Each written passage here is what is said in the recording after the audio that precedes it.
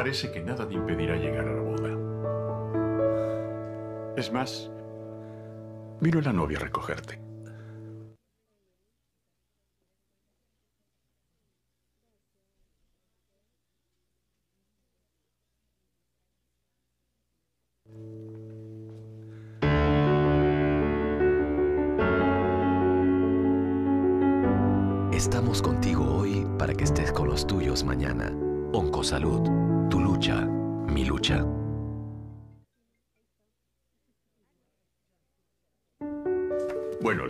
Está haciendo efecto.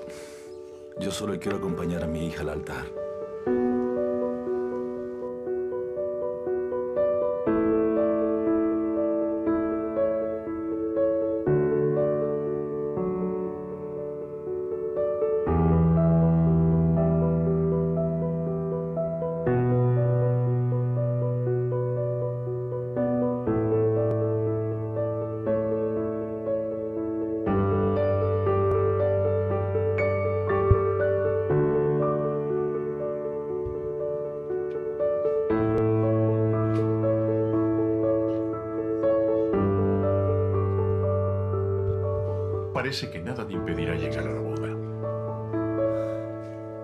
Hoy se celebra el Día del Cáncer de Mama. Muchas de ustedes, muchos de nosotros tenemos a alguien cercano, a alguien conocido con esta enfermedad. Esta enfermedad es la número uno en cáncer en mujeres en el mundo. Es la segunda causa de cáncer más frecuente en mujeres en el Perú. Entonces, vamos a hablar hoy día sobre este tema con personas como ustedes, que también son mujeres, son médicos, licenciadas, y yo, que soy el cirujano de mamas, que podré explicarles algunos puntos que de repente ustedes no, hasta el día de hoy no sabían cómo sucedía, qué sucedía, por qué sucedía y a dónde lleva todo esto. La naturaleza ha brindado a las mujeres dos órganos maravillosos. Estos órganos en la primera etapa de la vida nos van a mantener con vida porque nos van a alimentar y además es un símbolo de belleza. ¿No? Esta belleza que podemos conservarla si sabemos identificar un mal en un estadio inicial. Al principio estos órganos son bastante pequeños, con el influjo, con el paso de los años y el influjo hormonal van creciendo. Posteriormente van a sufrir cambios si hay o no hay un embarazo. Estos cambios, este crecimiento celular va a estar fácilmente sensible a cualquier alteración recogerte. de su ADN de las células. Entonces, e- esa alteración en el ADN va a llevarnos a un riesgo de desarrollar un probable tumor o una enfermedad en este órgano. Lo importante es identificarlo a tiempo. La prevención no tiene como objetivo evitar que nos aparezca el cáncer. Esto es muy importante. No porque nosotros vengamos a un chequeo preventivo, no vamos a tener cáncer. El objetivo de la prevención es identificar la enfermedad en un estadio inicial. ¿Ok? Mientras más temprano diagnostique el cáncer, mejor es el pronóstico, más sencillo el tratamiento y las posibilidades de vivir son mayores. Existen muchos factores de riesgo para desarrollar un cáncer de mama. Algunos factores van a ser modificables y otros no modificables. El ser mujer, por ejemplo, es un factor no modificable. El estar gordita o el sobrepeso es un factor modificable. Ya vamos a tener tiempo para que nos expliquen cada una de de estos eventos, la obesidad, tipo de dieta, estrés, la genética, qué exámenes, qué debo de hacer y qué no debo de hacer para yo poder identificar esta enfermedad a tiempo. Para eso he invitado, como les vuelvo a repetir, amigas mías que también son mis colegas y son mujeres como ustedes. Entonces, con mayor confianza vamos a poder hablar del tema. Primero vamos a invitar a la doctora Montenegro, quien es radióloga oncóloga, para que nos hable sobre la radiología en mama se habla tantas cosas de la radiología, entonces lo primero que tenemos que saber es sobre la mamografía. Ahora las dejo con ella y luego seguimos conversando. Un aplauso para la doctora. Hola, buenas noches. Eh, gracias, doctor Falla, por la presentación. Eh, vamos a hablar un poquito, yo soy radióloga, por lo tanto vamos a hablar de la mamografía. Eh, una de las preguntas que siempre se nos hacen es a partir de qué edad, cuándo debe hacerse la mamografía.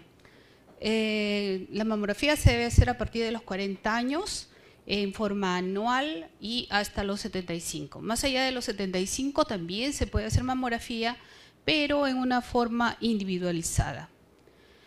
Ah, también podemos hacer mamografía en mujeres menores de 40 años si es que tienen factores de riesgo elevados, por ejemplo, familiares, en los cuales podría hacerse la mamografía 10 años antes de la edad que fue diagnosticado el familiar de primer grado. Un familiar de primer grado, por ejemplo, es la mamá, la hermana o la hija. Por ejemplo, si a la madre eh, de una paciente le diagnosticaron cáncer de mama a los 45 años, entonces la hija tendría que iniciar el screening mamográfico a partir de los 35. Es válido.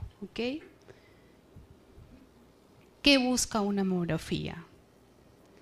El objetivo principal de la mamografía es detectar cáncer, cáncer de mama y sobre todo en estadios tempranos.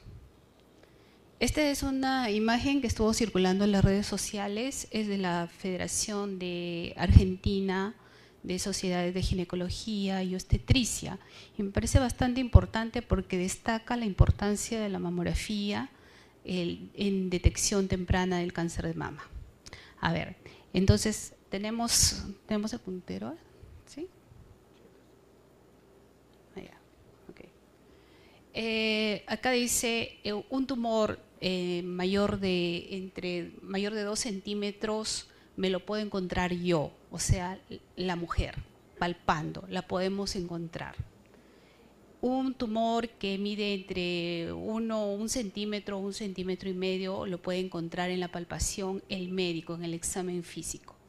Pero la mamografía puede encontrar tumores de 0.3 a 0.7 centímetros, o sea, antes que se palpe. Entonces, la importancia de la mamografía para detectar el cáncer de mama es que detectan estadios tempranos y si lo detecta tempranamente, me curo. Hay otra pregunta que siempre está entre nuestras pacientes que vienen a hacerse la mamografía y piensan que la mamografía puede producir cáncer de tiroides. La respuesta es no. La, la, dosis de radiación que recibe la glándula mamaria en una mamografía estándar en dos incidencias es mínima, es despreciable. Y lo que llega a la tiroides no está comparado con la dosis que, que recibe, por ejemplo, cuando uno se expone 30, minutos 30 minutos a la, a la exposición de la radiación ambiental. Debemos saber que en el ambiente también hay radiación, en los, en los edificios también hay radiación. Incluso se dice que en un viaje Lima-Miami-Lima se recibe más radiación que en una mamografía. Entonces, la cantidad de radiación que llega a la glándula tiroides que queda en el cuello es sumamente despreciable. Muchas pacientes nos dicen que quieren ponerse el collarín protector para proteger la tiroides, pero no es recomendable, ya que el uso de este collarín puede ser que eh, la tecnóloga que tome la, mamografía eh, no tome bien entonces tenemos que repetir la mamografía y en ese caso estaríamos exponiendo doblemente de radiación, la radiación, la mama a la radiación y por ende a la glándula tiroides. Entonces el uso de protectores no está recomendado. ¿Es igual la mamografía en cualquier lugar? Bueno, estamos hablando de tecnología. Eh, Actualmente en Ocosalud contamos con la mamografía digital, que ha probado ser eh, mejor que la mamografía convencional, la mamografía de placa, de película. Eh, ahora nosotros tenemos la tecnología digital. Ahora vemos las mamografías en unos monitores. y eh, ahora tenemos una herramienta más que mejora en hasta un 30% la detección de cáncer de mama y esa tecnología se llama tomosíntesis.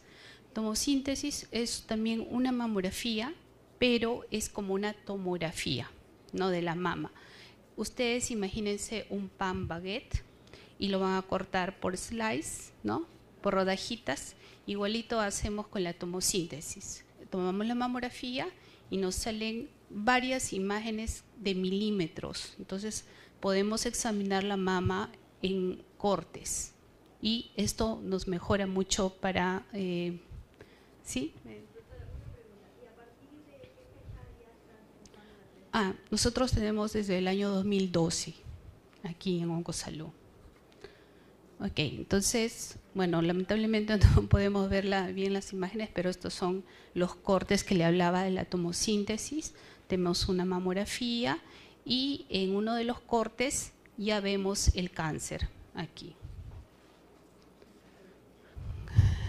¿Cuál es la técnica de aplastar o la compresión de la mama? Siempre las pacientes, las mujeres tenemos miedo al aplastón, ¿verdad?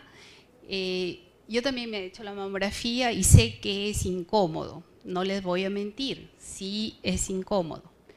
Pero este aplastón no es eterno, dura segundos y el equipo solito se descomprime, no se lo van a dejar comprimida ahí todo el tiempo. ¿Y cuáles son las ventajas de una buena compresión? Es que disminuye la radiación dispersa la radiación dispersa es la radiación que no es útil para fabricar la imagen de mamografía. Entonces, este tipo de radiación eh, se disminuye con una buena compresión. También reduce la superposición de imágenes, porque nosotros eh, cuando las examinamos las mamografías vamos, vamos a ver, eh, vamos a buscar el cáncer. Entonces, cuando hay superposición del tejido, a veces se puede esconder por ahí el cáncer. Entonces, pero una buena compresión nos ayuda para ver bien la mamografía. Por lo tanto, también reduce la, dosis de radiación que va a recibir la mama. Es muy importante. Y eh, evita también el movimiento de la mama por los movimientos respiratorios. ¿no? Eso es muy importante para no, no repetir las tomas. ¿Cómo se interpreta una mamografía? Bueno, ¿cómo se ve el cáncer en mamografía? Se puede ver como un nódulo, nódulo, ¿no? aquí ven un nódulo eh, irregular con algunos bordes mal definidos. También lo podemos ver como una imagen espiculada, acá este, esta imagen que parece una estrellita, o como un nódulo de bordes mal definidos, indistintos. Y también como una distorsión, Acá vemos como unas patitas de araña, la arañita acá y las patitas. ¿no? Eso es una distorsión. O también lo podemos ver como microcalcificaciones, que vemos aquí como unas cositas blancas, como ramificaciones. Esas son las microcalcificaciones. Y esto es lo que buscamos más, porque esto puede ser un cáncer de mama muy incipiente. Le llamamos cáncer de mama in situ.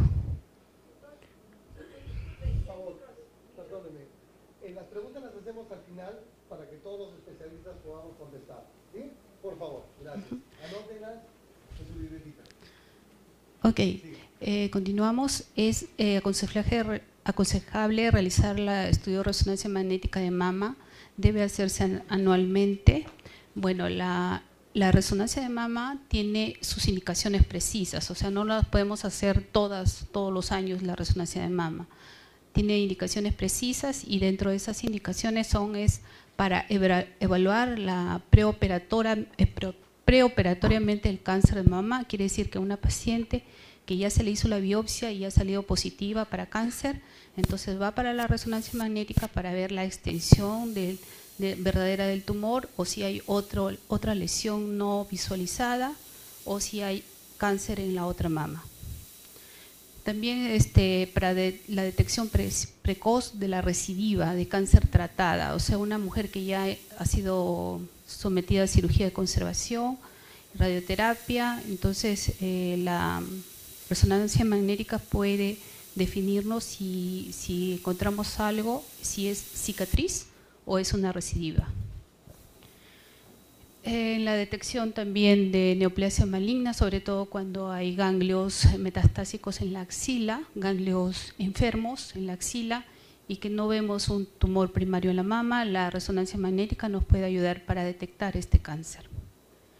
En el monitoreo de la quimioterapia neoadyuvante, en la quimioterapia neoadyuvante se da a mujeres que presentan tumores grandes, de gran tamaño, y el médico primero les da la quimioterapia para reducir el tamaño del tumor y luego hacerle la cirugía de conservación, o sea, no evitar la mastectomía.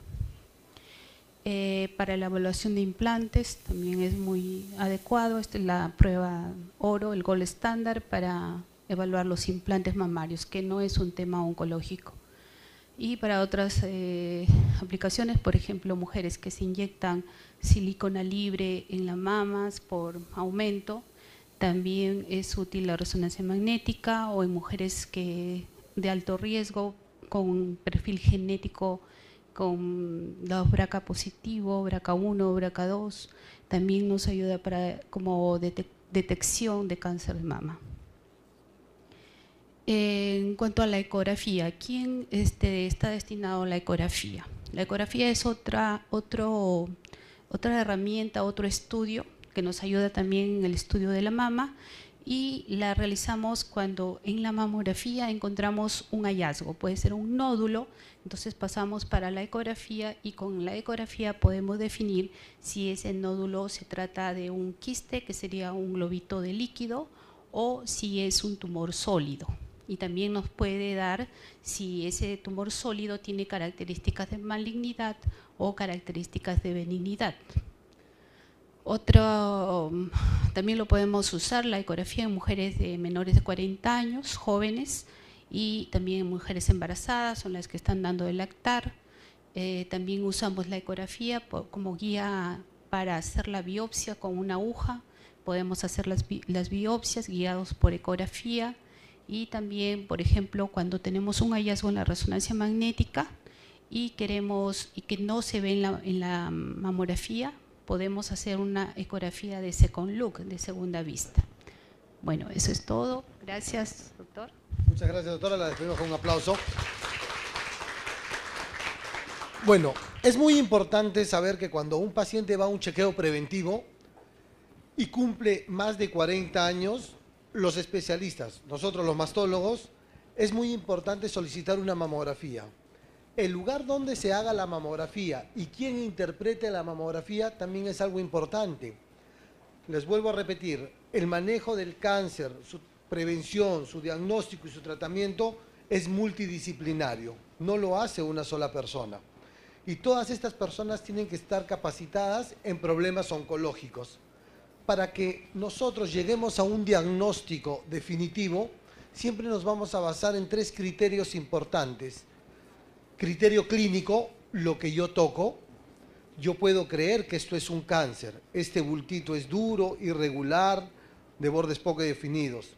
La radiología, que la doctora Montenegro, junto a todos sus colegas aquí en Oncosalud, te van a hacer el estudio mamográfico y o ecográfico y te pueden decir, sí, realmente me parece que es un cáncer. Pero al final el único que te confirma que es una enfermedad neoplásica es el patólogo oncólogo. Entonces, el tener un nódulo en la mama, por mamografía, por ecografía, no quiere decir que tú tengas cáncer. Existen grandes simuladores del cáncer radiológico, como son la necrosis grasa, por ejemplo, la mastitis esos te pueden hacer pensar que se trata de un cáncer y al final solo es un proceso inflamatorio. Parte de la evaluación y de la prevención es saber si yo tengo mi mamá con cáncer, mi hermana con cáncer, mi abuelita con cáncer, ¿tengo riesgo de hacer cáncer? Es una pregunta frecuente que me lo hacen todos. Doctor, mi mamá tuvo cáncer a los 30 años, yo tengo mayor riesgo y a qué edad me debo de hacer mis exámenes doctor, ¿cuándo debo empezar a hacerme mi autoexamen de mama? Todas ustedes deben aprender a conocer su cuerpo.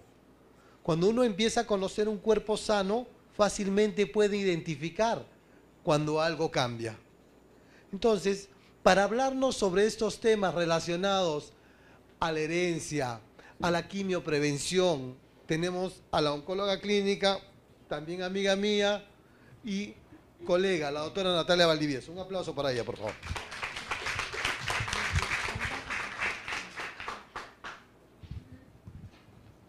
Buenas noches.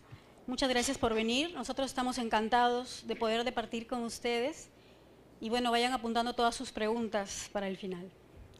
Yo voy a hablar un poco de si se puede prevenir el cáncer de mama, de cuáles son los factores que tenemos que tener en cuenta y de cuáles se pueden cambiar, o sea, cuáles pueden depender de nosotros y cuáles no. Tenemos primero para decir que en realidad el cáncer de mama es muy importante, como ya lo habían dicho. Es el segundo cáncer en el Perú y el primero en Lima, en cáncer de mama. Y a nivel mundial es el número uno en las mujeres. Eh, y aquí viene la pregunta, ¿existe un método 100% eficaz para prevenir el cáncer de mama? Pues como ustedes saben, nada es 100% en la vida, pero sí hay muchas cosas que nosotros podemos influenciar para manejar en nuestro futuro. Uno de ellos es el cáncer de mama. Como habían ya dicho, el cáncer de mama, eh, que nosotros nos hagamos un chequeo, no va a cambiar si el cáncer aparece o no, probablemente, pero sí la probabilidad que tengamos de curarlo si lo encontramos en un tamaño pequeño. Entonces, vamos a ver cuáles son los factores que podemos modificar y cuáles no. Aquí tenemos, por ejemplo, eh, empezando con los factores no modificables, ¿cuáles son? El primero es ser mujer. Todos sabemos que el cáncer de mama es mucho más frecuente en la mujer que en el varón. En el varón tiene una incidencia muy baja, mientras que en la mujer ya solamente con ese hecho tiene un riesgo muchísimo más alto de padecer cáncer de mama. El envejecimiento, también. El cáncer de mama generalmente, eh, bueno, hay casos y casos, pero generalmente la probabilidad de obtener un cáncer de mama es conforme pasan los años. ¿Por qué? Porque se van acumulando fallas genéticas y finalmente la célula puede fallar y llevar al desarrollo de un cáncer. La historia familiar. La historia familiar es importantísima, por eso es que eh, es necesario que cada una de nosotras o cada uno conozca los antecedentes familiares, ¿no? porque esto nos van a decir cuánto es nuestro riesgo, cuánto porcentaje podemos tener nosotros de herencia. Para eso existen métodos los cuales van a evaluar dependiendo de que sean familiares de primer grado, segundo grado, cuál es la injerencia de tener un cáncer familiar. Hay, existe lo que se llama el cáncer eh, de mama ovario, es un síndrome en el cual tenemos eh, conocimiento, generalmente es algo muy manifiesto en el cual sabemos que nuestra prima hermana, hermana, nuestra abuelita puede haber tenido cáncer de mama o de ovario, ¿no? Estos son casos que en realidad uno los conoce muy bien, porque generalmente en la familia se sabe quién tiene cáncer. ¿no? La raza.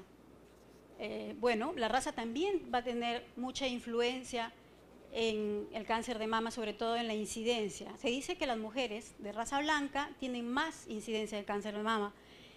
Las latinas tenemos un poco menos. Sin embargo, cuando el cáncer de mama se presenta en la raza negra, el pronóstico es peor que en los de raza blanca. Entonces, como vemos, hay varios factores que no van a depender de nosotros. Como vemos, la historia familiar, por ejemplo, es algo que ya vamos a traer y que lo debemos conocer para que nuestra prevención sea más y más exhaustiva. Entonces, hablando un poco de lo de herencia, vamos a ver que tenemos genes que van a dar mayor predisposición para desarrollar un cáncer de mama. ¿Qué es un gen? Un gen es una especie de llave que trae información y que lo que va a hacer es que la célula o se detenga o se multiplique. Entonces tenemos aquí los dos genes que son los más conocidos en cáncer de mama. Es el gen del que tanto se ha hablado cuando operaron Angelina Jolie, y se llama BRCA1 y BRCA2. ¿Qué hacen estos genes? Estos genes van a hacer que el ADN celular se abra o se cierre. Y esto va a desencadenar en que la célula se multiplique si una célula se multiplica de una manera más abigarrada, más rápida, más acelerada, nos va a dar mayor facilidad para que hayan errores de transcripción genética y finalmente se desarrolle un cáncer. Entonces vemos aquí que cuando se tiene uno de estos dos genes, la probabilidad de padecer un cáncer puede ir desde un 50 a un 80%. Ahora, esto tampoco es para asustarnos. ¿Por qué? Porque ¿en qué porcentaje se presenta este tipo de cáncer, el cáncer de mama hereditario? Solamente es entre un 5 a 10%, o sea, no es algo muy frecuente. ¿no? Y, como y como les estaba explicando, cuando uno tiene factores para tener estos genes, generalmente en la familia se conocen los casos de cáncer de mama o de ovario o en los hombres de cáncer de próstata de una manera precoz. O sea, son pacientes que debutan con el cáncer a una edad muy temprana, son pacientes muy jóvenes, casi no se da en pacientes mayores. Eh, aquí vemos eh, que tenemos a la cabeza que los, los principales generadores de cáncer son el BRCA1 y el BRCA2, como repito es el gen de la Angelina Jolie, y los otros cánceres que pueden ser desarrollados por genes que aún nosotros no desconocemos son la mayoría.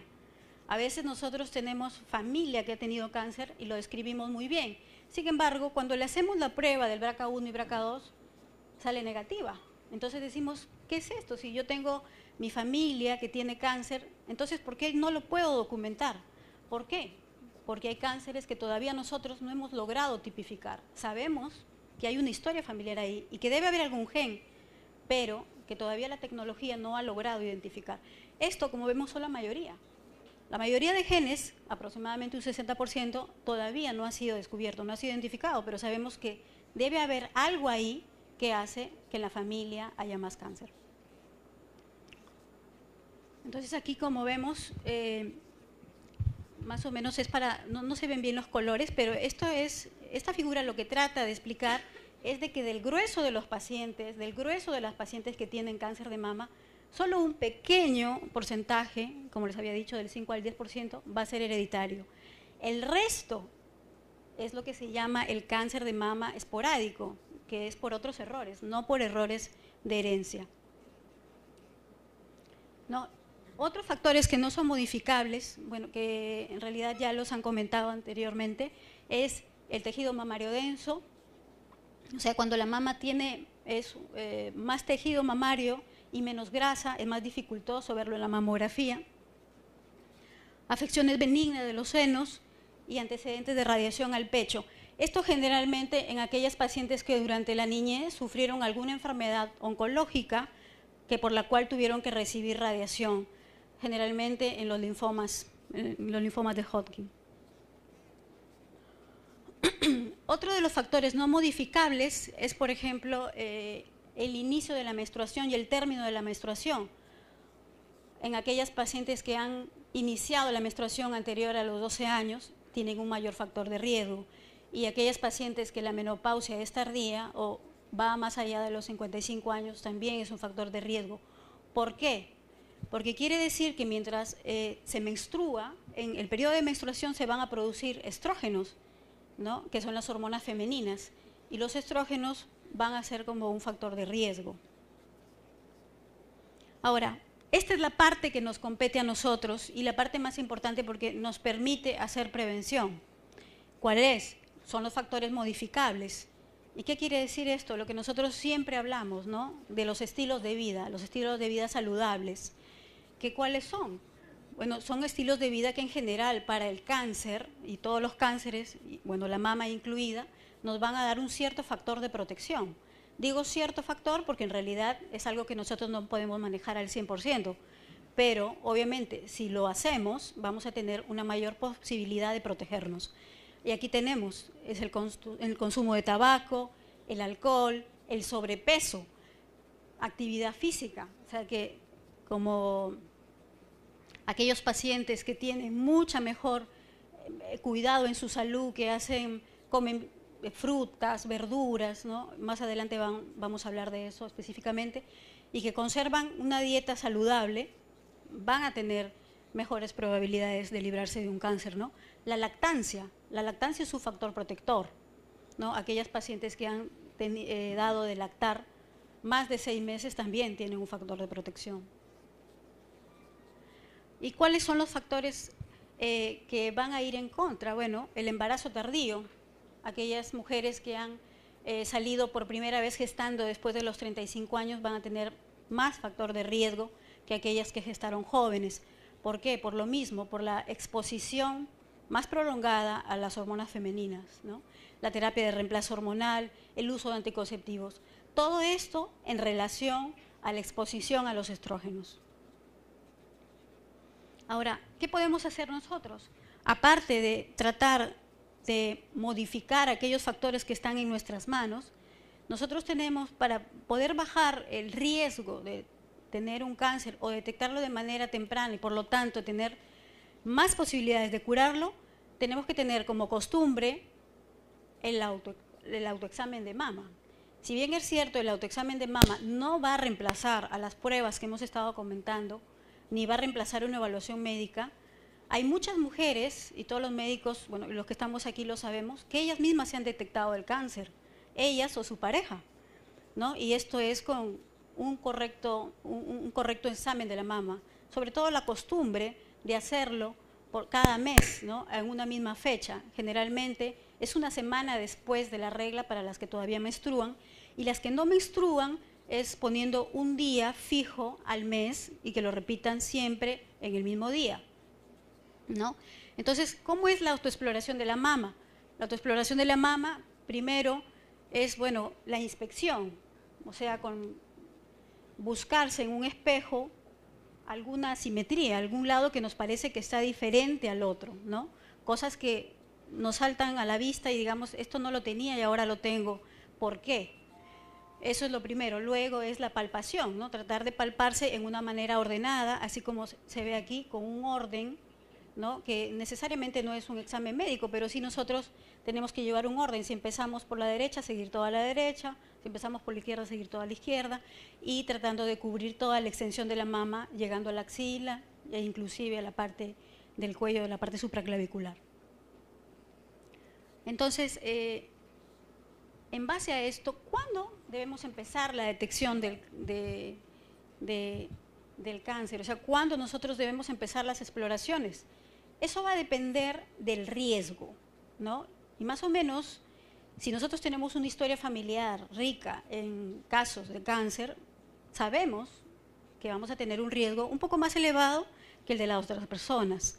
¿no? Si tenemos ya algún familiar que ha tenido el gen del BRCA, entonces ahí eh, probablemente nosotros debamos ser muchísimo más exhaustivos en nuestros exámenes y empezar el examen antes, no lo normal como lo estaban manifestando la doctora Montenegro, que a los 40 años tiene que pesarse antes. ¿Cuándo antes? Si, tienes, eh, si tu madre, tu hermana o, alguien, un familiar ha tenido el BRCA, tienes que empezar 10 años antes de lo que le dio el cáncer a ella. Y si es que exactamente no sabes la fecha, el examen tendría que empezar a los 25 años y es un examen muchísimo más completo que en una, en una persona que no tiene este antecedente. ¿no? Aquí se tiene que hacer mamografía anual, en caso de tener más de 40 años. Si es necesario hacer una resonancia magnética, que es un poco más específica.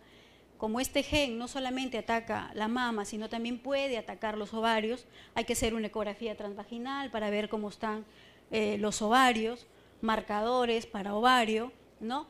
Y otro factor que es muy importante, pero que requiere mucha más conversación, más consejería, es ver, aparte de eso, qué, más vamos a hacer, ¿no? Porque generalmente eh, tenemos un porcentaje alto de que desarrolle cáncer, ya sea de mama o de ovario, entonces, aparte de hacer nuestro screening, nuestro chequeo, tenemos que tomar decisiones. ¿Cuáles decisiones? Si nos hacemos mastectomía profiláctica, ese es uno para prevenir el cáncer de mama, si es que tenemos el gen.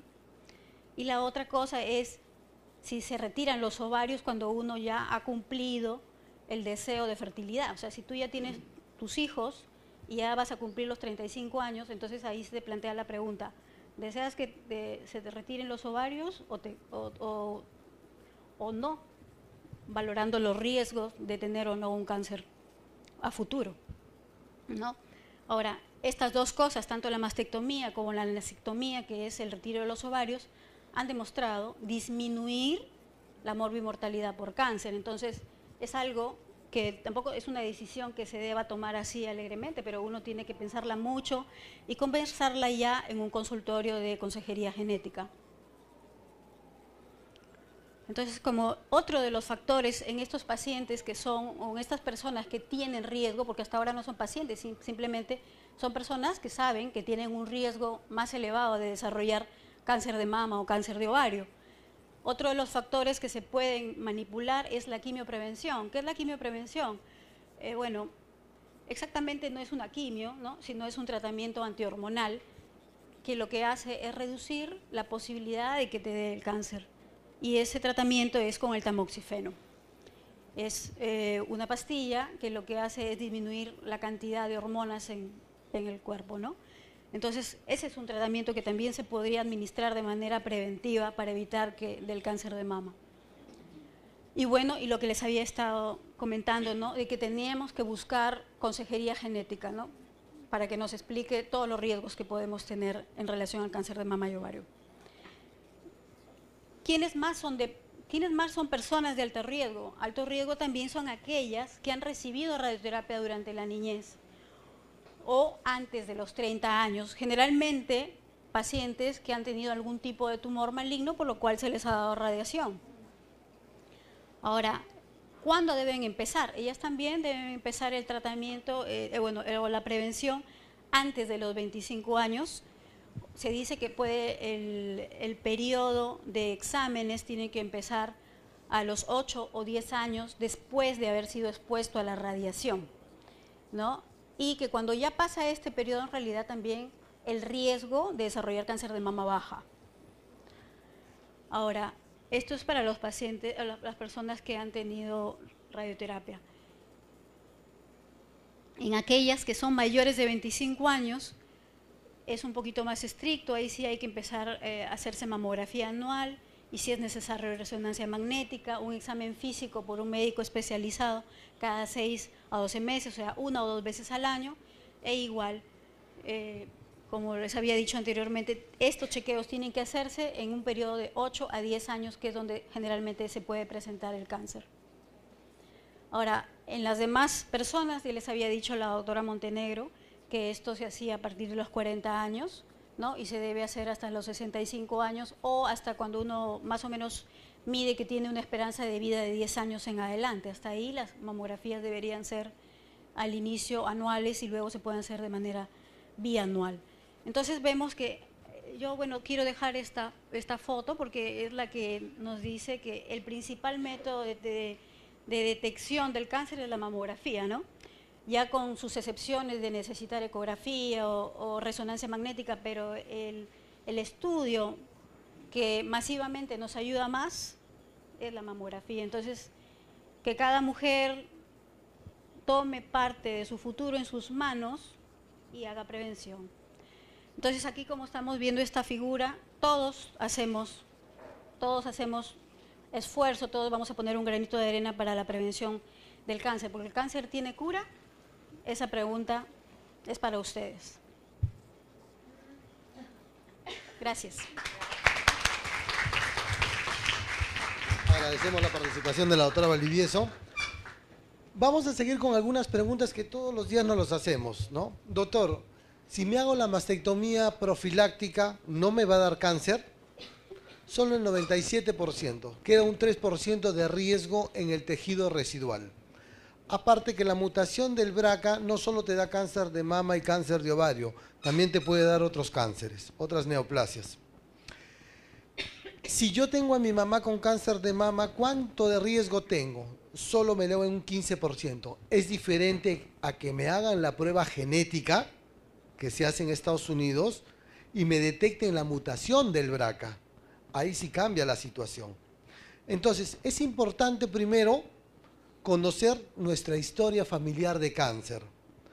Hay cánceres que tienen relación, cáncer de mama y cáncer de colon, cáncer de mama, cáncer de ovario.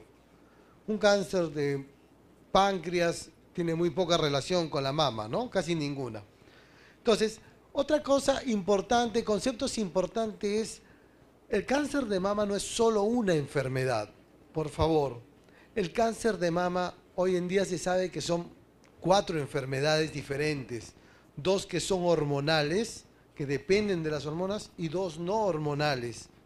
Entonces, cada uno de estos cánceres va a tener un pronóstico, una evolución y un tratamiento diferente. Otra cosa importante que me suele pasar, están en la consulta 10 pacientes, entra la primera, entra la segunda, me dice, doctor Falla, ¿por qué a mí no me da la pastillita que le da a la señora? Cada uno tiene un cáncer diferente. Ella tiene un cáncer hormonal y usted tiene un no hormonal o triple negativo. Doctor Falla, si yo nunca he usado hormonas, me cuido, como sano, estoy tranquila, no ando estresada, me da cáncer. Lo único malo que mi mamá, mi tía y mi abuelita tuvieron cáncer. Entonces, son factores importantes que hay que tener en cuenta. Y tampoco, señoras, vivir con cancerofobia.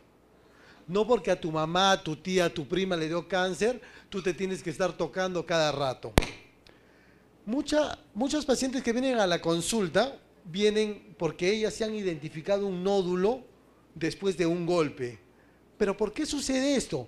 Porque después del golpe la mujer toma conciencia y empieza a hacer un examen más exhaustivo del seno y se da cuenta que algo malo apareció. Entonces, si nosotros aprendemos a cuidarnos, vamos a poder enseñarles a nuestros hijos a cuidarse. Y de esta manera va a ser la mejor forma de prevenir el cáncer. La única forma de vivir es con prevención. Ahora vamos a hablar sobre la nutrición. ¿Qué debo comer, qué no debo comer? Doctor, ¿como carne o no como carne? Me ha dicho mi vecina que la leche produce cáncer, que el microondas produce cáncer. Vamos a saber, mediante la exposición de la licenciada Juliana Saldarriaga, qué cosa nos va a ayudar qué cosas nos va a proteger, qué cosas tienen antioxidantes.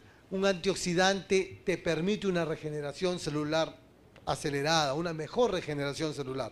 Entonces le invitamos con un fuerte aplauso, por favor.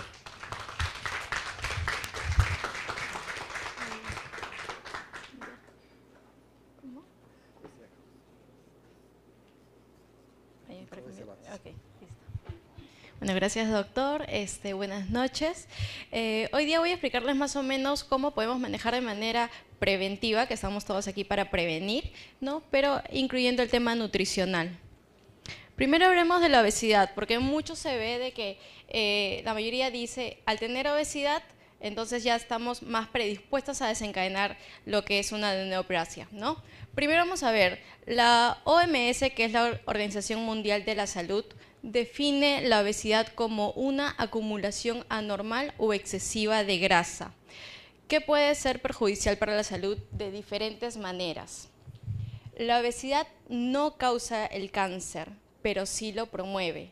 ¿Eso qué quiere decir? Que no todas las personas de que van a tener eh, una obesidad van a desencadenar el cáncer, pero sí causan las mutaciones que hacen que una célula normal se convierta en célula cancerosa, sino que más bien alimentan el crecimiento y la proliferación de células malignas. Por esto es de que las personas que tienen una obesidad pueden desencadenar diferentes tipos de enfermedades. Entonces, por eso es que siempre tenemos que estar controlando el peso, mantenerlos en un peso adecuado. En esta gráfica como podemos ver, aquí está la obesidad y aquí vamos a encontrar lo que es la grasa corporal, las hormonas, la alimentación inadecuada y los radicales libres.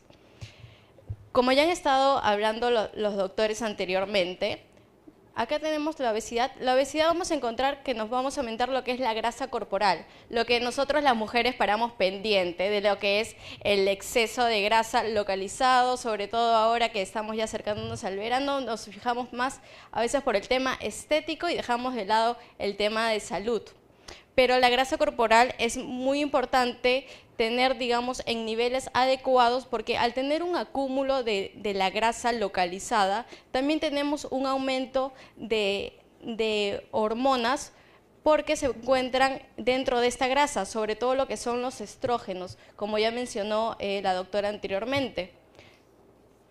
Adicional a esto, teniendo una alimentación inadecuada, vamos a tener deficiencias de diferentes nutrientes, los cuales nos van a causar que generemos mayor radicales libres. ¿Qué son los radicales libres? Son unas moléculas inestables, la cual al tener en mayor cantidad nos va a producir o estar más propensos a desarrollar cualquier tipo de enfermedad. Entonces, para poder prevenir todo esto, debemos de llevar una alimentación balanceada o una dieta adecuada. ¿Qué podemos entender por una dieta balanceada o adecuada? Es aquella que nos va a ayudar a cubrir nuestro requerimiento. Nosotros tenemos dos grupos, podemos separar los alimentos por los macronutrientes y los micronutrientes. Los macronutrientes son los alimentos que los vamos a necesitar o los nutrientes que los vamos a necesitar en mayores cantidades. Acá tendríamos lo que son los carbohidratos, las proteínas y las grasas. los carbohidratos son los que nos proporcionan la energía inmediata. Dentro de los carbohidratos tenemos lo que son los carbohidratos simples y complejos. Los carbohidratos simples son los que son los productos más que nada tipo los dulces o los, que encontramos en panadería. Los carbohidratos complejos son los, panes integrales o los fideos, ¿no? los demás cereales. En cuanto a las proteínas, son los que nos van a, dar la fortalecer el, cuerpo en sí. ¿no? Entonces tenemos lo que son las carnes, el pescado, el huevo, que debemos incluir diariamente en nuestra dieta.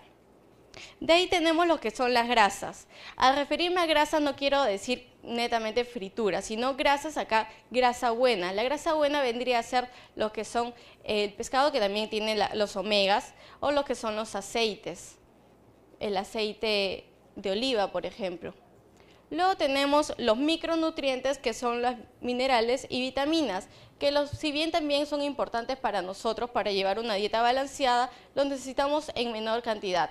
Los encontramos en lo que son las frutas y las verduras. Para tener una dieta balanceada, debemos tener en cuenta estas cuatro leyes. Son muy fáciles de recordar, pero nos van a servir bastante.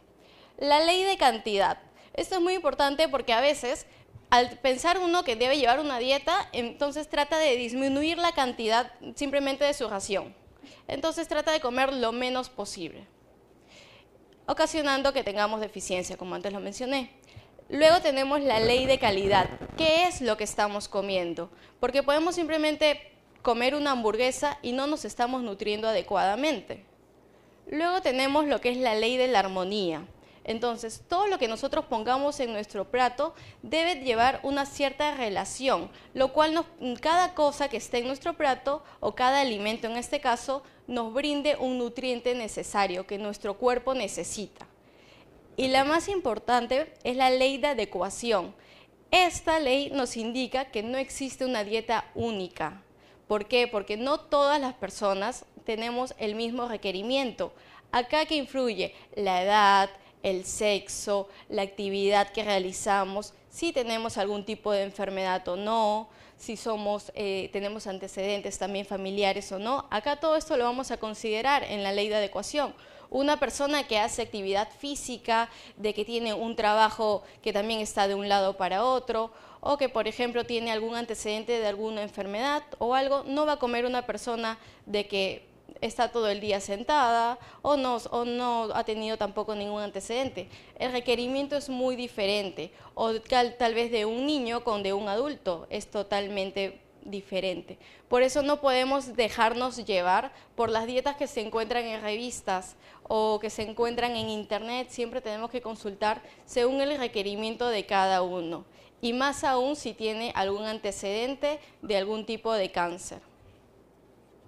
Otra cosa que también, este, bueno, acá por ejemplo está un poquito más gráfico. Como pueden ver, esto vendría a ser más o menos un plato ideal. No sé si acá alguno lo cumple realmente, pero, pero bueno, lo que es importante es la proteína que vendría a ser un cárnico, Puede ser eh, el pescado, puede ser pollo, puede ser pavita. La preparación de esto también es importante, evitando todo lo que son frituras.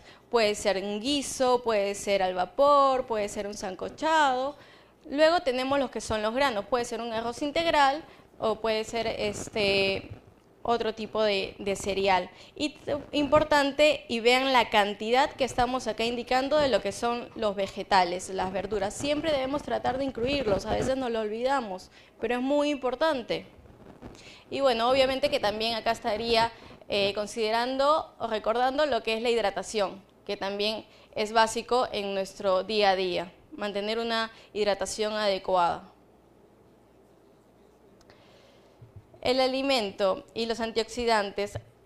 Con el tema del, del cáncer en sí, se habla mucho, se comenta bastante con los alimentos, cuáles son bene- beneficiosos, cuáles dañan, el tema del- de la leche, como mencionaba el doctor. En realidad hay muchos mitos sobre la nutrición.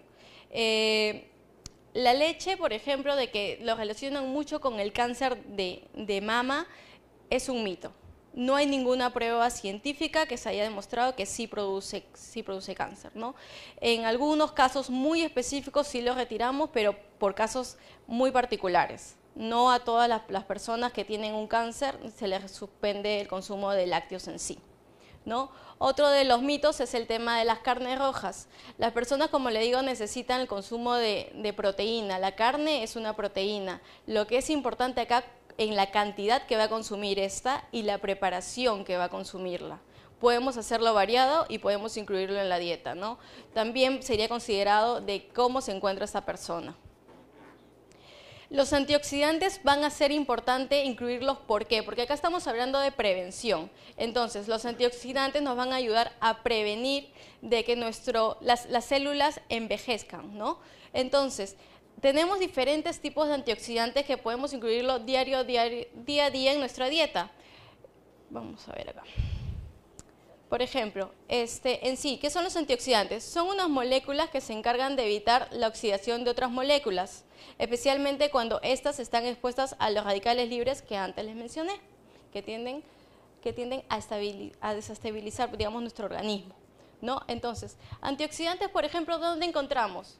En el maíz morado, en la berenjena, lo encontramos también en el tomate, que es el licopeno, lo encontramos también en el camu camu, lo encontramos en, en diferentes...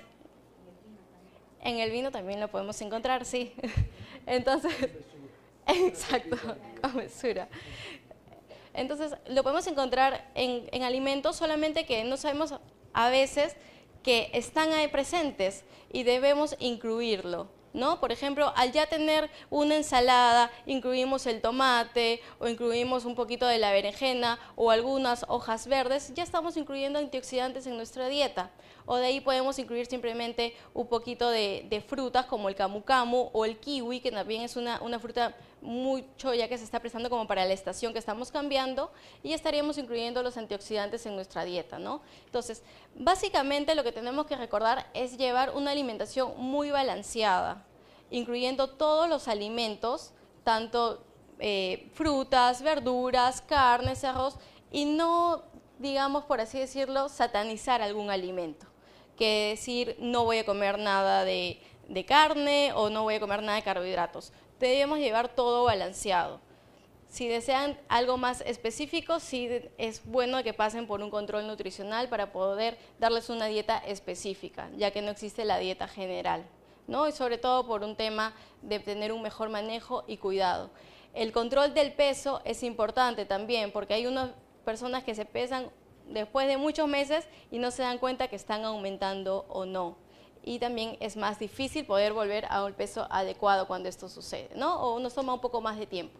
Así que no hay que dejarse llevar de ningún aspecto, dejar de lado ningún aspecto, que todo en conjunto nos va a ayudar a prevenir cualquier tipo de enfermedad y en este caso sobre todo el tema de, lo que estamos tratando hoy día, que es el cáncer de mama. ¿Ya? Listo. Gracias. Muchas gracias, licenciada.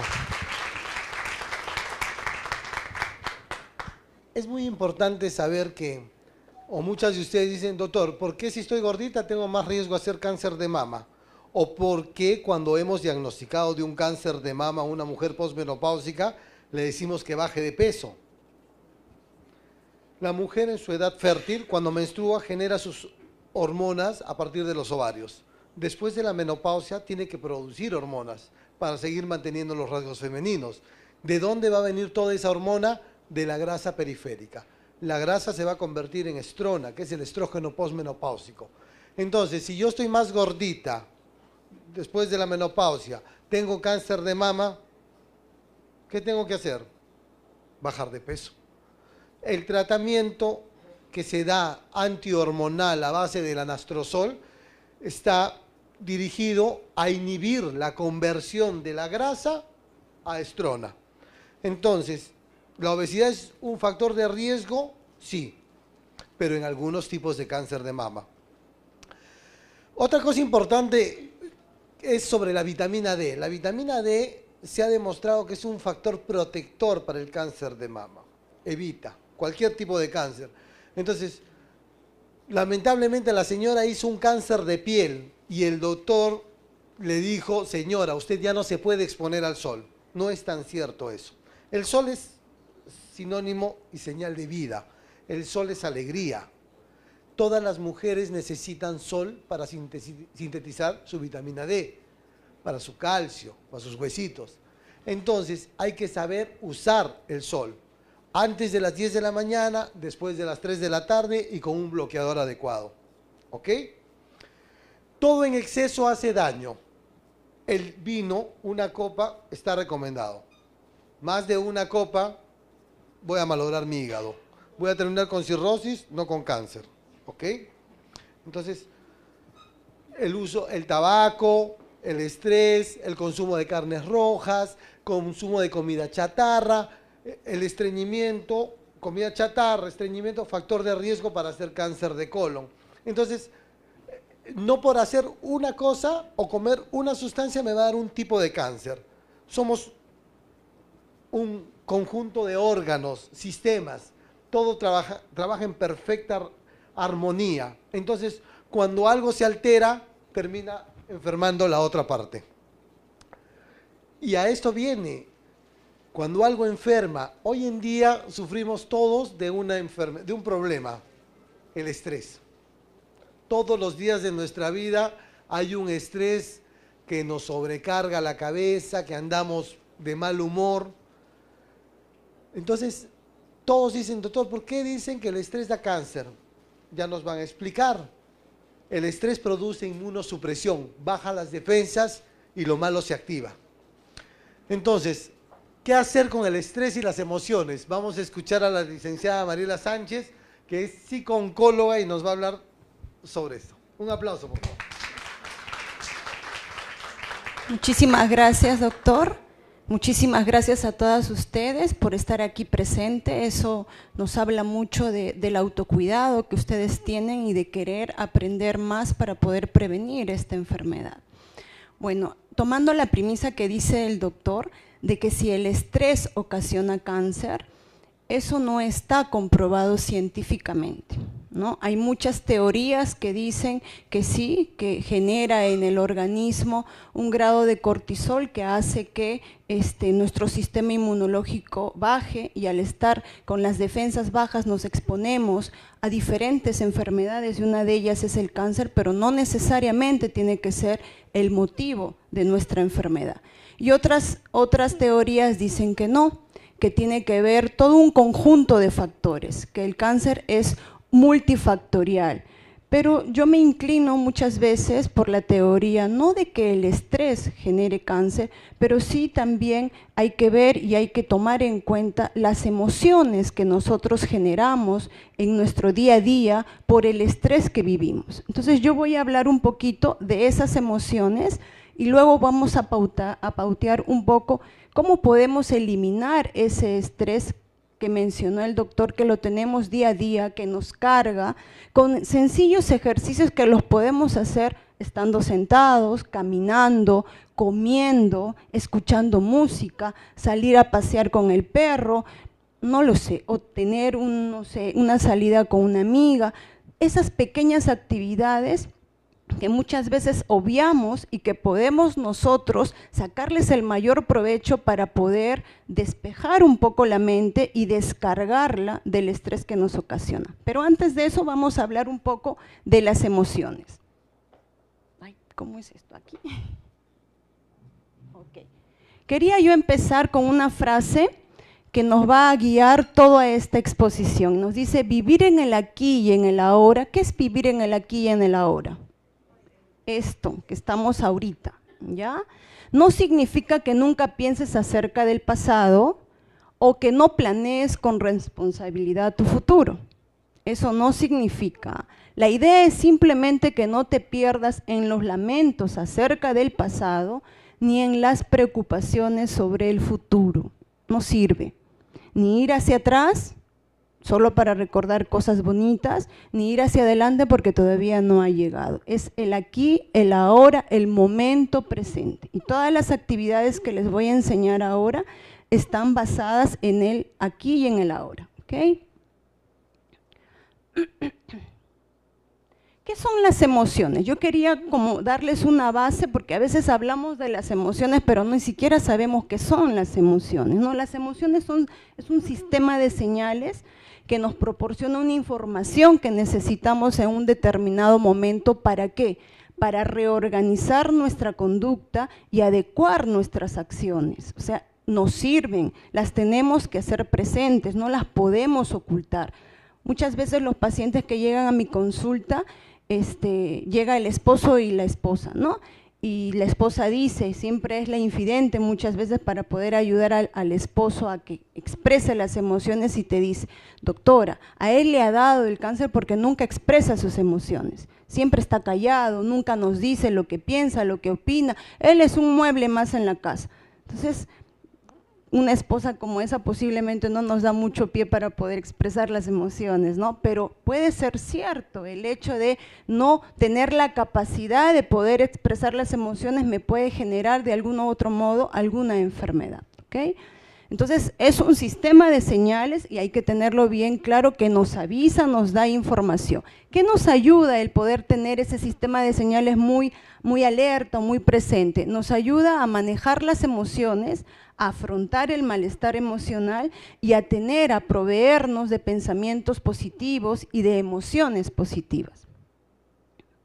¿Cuáles son las demandas emocionales que le da a un paciente. En este caso vamos a hablar de un paciente que tiene cáncer, pero también vamos a ver cuándo nos da una crisis a nosotros en determinados momentos, no necesariamente a través de una enfermedad que esté presente, sino puede ser una pérdida, puede ser este, el duelo, la pérdida de un familiar, el que nuestro hijo se vaya a estudiar al extranjero, o el que yo me mude de distrito o me vaya a otra casa, o deje la casa grande y me vaya al departamento. O sea, todas esas pérdidas que nosotros tenemos en el día a día, que de algún modo nos ocasionan estrés, tienen demandas en distintos niveles de nuestra persona, en el físico, en el psicológico y en el social espiritual. En el físico, cuando pasa algo como un cáncer de mama, ¿qué pasa con la mujer? Tiene una demanda emocional de, tener ahí una, una expresión de sus emociones con su autoimagen.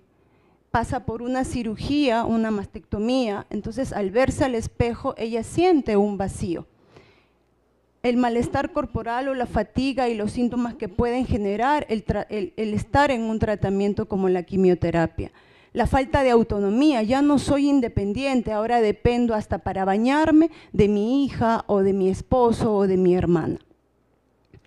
En lo psicológico, baja autoestima, pérdida del deseo sexual, pérdida de, la fertilidad, inseguridad, confusión, todas estas emociones se presentan en la mujer que tiene un cáncer, pero también se presenta cuando existe un miedo, un miedo a hacernos un chequeo, un miedo a venir a vernos, a hacernos una mamografía, ya empezamos a adelantarnos al futuro y si por ahí, y si aparece, y hay personas que por ese miedo no se hacen los chequeos.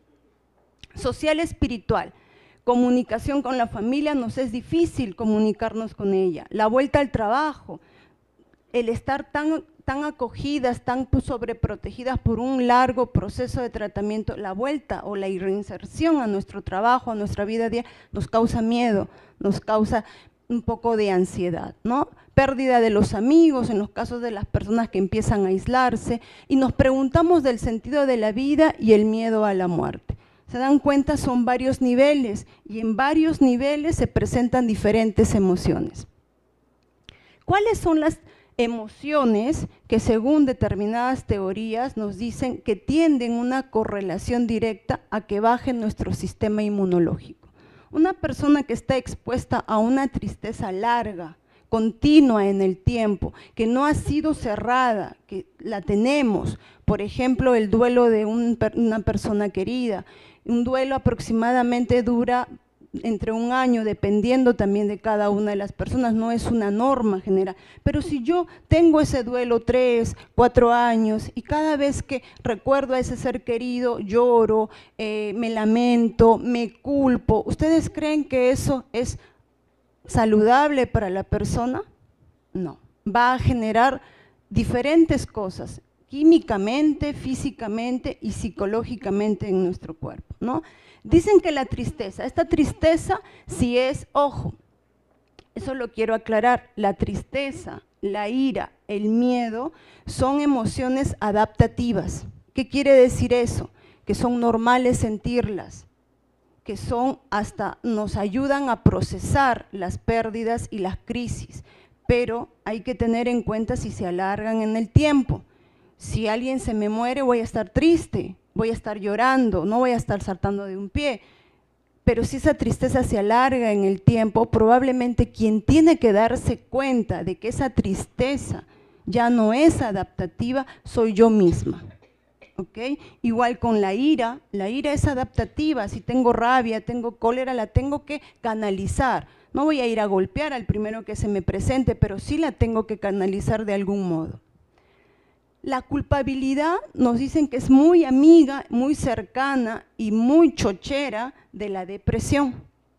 La persona que tiene culpa es porque quiere restaurar un supuesto daño. Se culpa por la muerte de alguien, por la forma en que murió alguien. Por ejemplo, ayer atendió a un paciente que tiene un tipo de cáncer, pero él no venía por el cáncer, no le, no le afectaba, decía que lo estaba tomando de una mejor manera, pero lo que él quería tratar conmigo era que se culpaba por la muerte de la madre de hace seis meses. La madre había muerto hace seis meses y él no quería que la entuben, la entubaron y él se culpaba de eso. Ya había pasado seis meses y él seguía culpándose de eso. Más aún, se culpaba de sentir eso y de que eso le había generado el cáncer. ¿Se dan cuenta la secuencia de todas sus emociones y de sus pensamientos? O sea, me generó el cáncer el que yo tenga culpa por la muerte de mi madre, pero yo no puedo remediar esto que me está pasando porque todavía tengo que solucionar el duelo que tengo con ella toda una secuencia. Entonces ahí hay que atacar la raíz, que posiblemente en este momento no es la enfermedad que se le está presentando, sino la emoción que él siente respecto a una pérdida y un duelo. Que muchas veces, si se soluciona eso, vamos a solucionar lo que viene. ¿Ok? Aquí dice de la culpabilidad, emoción que tiene la finalidad de restaurar un supuesto daño, se tiene la sensación de ser responsable de la aparición de la enfermedad en los pacientes, culpa por provocar dolor o preocupación de los seres queridos, duelos no resueltos. Esto es muy típico en la consulta. Yo no quiero molestar a mi esposo, no quiero molestar a mis hijos, pobres de ellos que han cambiado su vida por estar cuidándome. Esa paciente tiene mucha culpa hay que desaparecer, despeguémonos, que no sea un pegote para nosotros la culpa. La ira es una emoción que se caracteriza por un estado de ánimo en el que predomina la agresividad y el enfado. Como yo les decía aquí, es una reacción sana y normal si es que está canalizada y si es que se mantiene en un corto tiempo. Si no, ya tenemos que ir viendo si nos va a causar un malestar físico o emocional si, las, si la mantenemos por mucho tiempo en nosotros.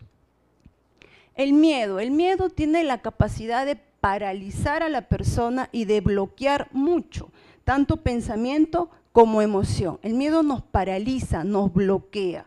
¿no? Pero en algún momento es adaptativo tener ese miedo, siempre y cuando lo controlemos y lo canalicemos. ¿no? La ansiedad, sensación de sentirme vulnerable, hipersensible ante cualquier síntoma o malestar. Esto se agudiza en las pacientes cuando van a hacer sus citas, cuando tienen chequeos médicos, cuando les van a dar los resultados de algunas pruebas, se agudiza. Entonces ahí viene un poco el control de nosotros mismos a través de los ejercicios que les voy a enseñar.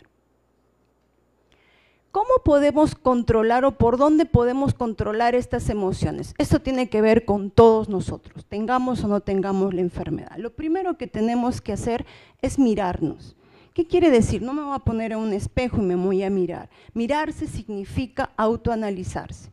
Si yo presento una emoción, yo tengo que saber que esa emoción es mía, que no es del vecino, que no es de mi hijo, que no es de mi hermano ni de mi esposo, es mía. Eso es lo primero. Me miro y digo, ok, Marianela, tienes miedo. Eso es lo primero. Reconocerse, reconocer que ese miedo tiene que ver con algo, con una situación que me está provocando esa emoción, esa emoción. Reconocerse también implica saber qué qué herramientas de mí, no de los demás, voy a sacar para poder combatir ese miedo. Son milésimas de segundo que nosotros tenemos que aprender a mirarnos, a reconocernos. Luego dice el escucharse. El escucharse tiene que ver mucho con esos pensamientos que retumban en nuestra cabeza. O sea, ese pensamiento, recuerden, el pensamiento es el que genera mi emoción. Muchos de los pacientes vienen y me dicen, doctor, estoy muy ansiosa. ¿Y por qué está ansiosa? No sé, pero sí, usted sabe, hay que indagar, a ver qué pasó ayer, qué pasó, usted, yo tengo que ir reconociendo qué me, qué me provocó esa ansiedad. Puede ser mínima, puede ser el vuelo de una mosca posiblemente, puede ser el que se me paró un insecto, algo, y yo lo relacioné con un pensamiento que me provocaba miedo, pero yo tengo que ser consciente, escuchar mis pensamientos para yo poder empezar a controlar esas emociones. Y el aceptarse, el aceptarse tiene que ver mucho con el mirarse. Si yo tengo miedo, si yo tengo tristeza, si tengo ansiedad, si tengo rabia, tengo que ser valiente y reconocerlo reconocer implica también hasta dónde yo estoy con mis límites para poder yo solucionar eso. Por ejemplo, a mí la experiencia me ha enseñado de que si yo reconozco que tengo miedo y que necesito ayuda, eso es fortaleza, eso es madurez, eso es inteligencia y es confianza en ti y en tu medio, en tu equipo porque al pedir ayuda estás confiando en las demás personas, en tu equipo médico, en tu familia, en tu especialista que te ayuda y en ti misma. Entonces no teman en pedir ayuda cuando lo necesiten. Te toca reconciliarte con tu cuerpo, con tu mente, retomar la confianza en ellos. Esto de te toca reconciliarte significa todo eso, mirarse, reconocerse, escucharse y aceptarse. ¿Qué más nos ayuda? Nos ayuda, como ya nos expuso la licenciada Juliana, la alimentación, el contacto con la naturaleza, la relajación, la respiración, el humor, el ejercicio. Estas dos, eh, situaciones de relajación y, respiración tienen que ver mucho con lo que vamos a hacer ahora después de esto. Se ha hablado mucho de que la relajación, de que la meditación ayuda. Es cierto, el respirar, el hacer consciente nuestra respiración en determinados momentos de estrés nos va a aliviar la carga emocional. A veces no somos conscientes de ese espacio que le podemos dar a nuestro cuerpo, a nuestra mente, y pasamos de largo. Cuando ustedes les ponen una inyección, ¿qué les dice la enfermera? Respira, respira. ¿Por qué? Y algunos lo hacen bien y les duele menos.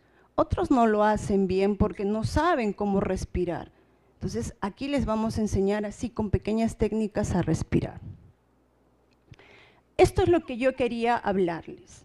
Quería que ustedes se vayan de aquí teniendo como conciencia todo lo que les ha hablado mis colegas, mis compañeros de trabajo y también estos ejercicios para que ahora que posiblemente no han comido puedan hacer el ejercicio que les voy a dejar aquí. ¿Cuántos de ustedes comen en 15, en 10 minutos? por el trabajo, por las eh, ocupaciones. ¿Y ustedes realmente creen que su cuerpo asimila ese alimento, agradece ese alimento? Posiblemente no, o puede que no.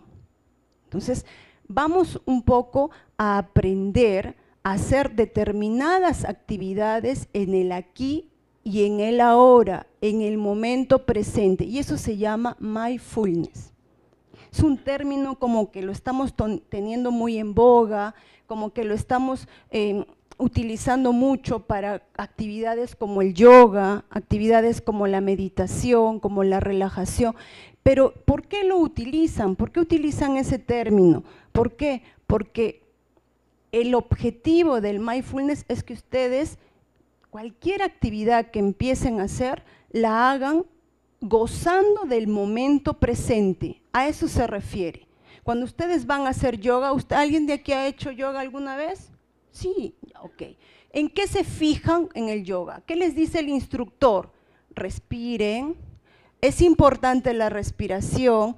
¿Y qué está haciendo con eso? Está haciendo que ustedes se fijen en su cuerpo, dónde entra el aire, cómo entra, qué se infla, qué me duele cuando entra el aire. ¿Por qué? Porque quiere asustarlas para ver qué les duele en el cuerpo. No, para que se sientan en su momento, aquí y ahora. Entonces, eso es el mindfulness, es la atención plena, es la capacidad de estar plenamente presente aquí y ahora en este momento. El secreto de manejar el estrés es tener conciencia plena de mi modo de ser. No tengan miedo a descubrir cómo son ustedes. Eso les va a ayudar, las va a fortalecer y las va a proteger para las crisis que puedan presentarse. Por ejemplo, ahí viene, el comer aquí y ahora. Estas son actividades, el comer, el escuchar, el caminar, las costumbres que hacemos día a día y la respiración, son actividades que el mindfulness nos da como, como herramientas para que nosotros lo podamos hacer en cualquier momento de nuestro día. Estas, estas actividades, por más simples que ustedes las puedan ver, nos ayudan a controlar el estrés, a controlar las emociones y por ende a bajar los grados de cortisol o de sustancias que nos puedan generar en el cuerpo determinadas situaciones que nos generen estrés. Entonces, comer en el aquí y en el ahora. ¿Qué significa comer en el aquí y en la ahora? Es que el primer bocado que yo me dé de cualquier gustito, de mi desayuno, de mi almuerzo, de mi cena, o me voy, pues no sé, a un lonchecito, yo pueda ver los colores de esa comida, los sabores. Cuando yo ingiero ese bocado, tiene que haber una conexión entre mi, mi, mi sentido del gusto y mi sentido del olfato el oler el bocado. Nosotros somos un país culinario, pero ¿ustedes creen que disfrutamos de la comida? A veces no, a veces no, ese chanchito al palo, ese chanchito a la caja china y no sé qué cosas también. ¿Ustedes creen que disfrutamos, que sabemos qué tiene ese chanchito al palo? Sabemos, podemos descubrir que le echaron, no sé, su perejil, su vinagre. O sea, vuélvanse artistas en eso, porque eso les va a ayudar en qué? A despejar la mente, el pensamiento de ese problema y centrarme en qué? En el aquí y en el ahora. Esa es una actividad simple. ¿Lo hacemos? No. Dice, intenta degustar ese, primer bocado de comida, presta atención a los colores, los olores, los sabores, la textura. Nota cómo tu cuerpo reacciona ante estímulos. Yo he conocido gente que haciendo esto ha bajado de peso. Sí, por masticar mejor, por degustar mejor el bocado que has, por tardarse un poco en comer más, no en 10 ni en 15 minutos. El escuchar en el aquí y en la ahora. Dedica al menos 5 minutos al día para escuchar de forma activa, sin juzgar, sin pensar que son sonidos que nos incomodan. Vamos por la calle y que la bocina y que los bomberos y que la ambulancia y que el chofer que grita y que la otra señora. Entonces te satura. Pero un momento, por lo menos cinco minutos de tu día, imagina que esos ruidos que son molestos son la sinfonía del grupo de música que te gusta tanto. Imagínalo, por ahí que suena el claxon, pum, pum, por ahí que, imagínalo, cinco minutos. ¿Qué quiero hacer con esto? Que ustedes se centren. Esos adolescentes, esos chicos que salen con sus auriculares en los, en los oídos y están ahí caminando, algunas madres me dicen a mí, ese mi hijo se va a chocar con alguien y ni cuenta se ha dado, se va a caer y a mí me preocupa porque se va a malograr el oído y no sé qué.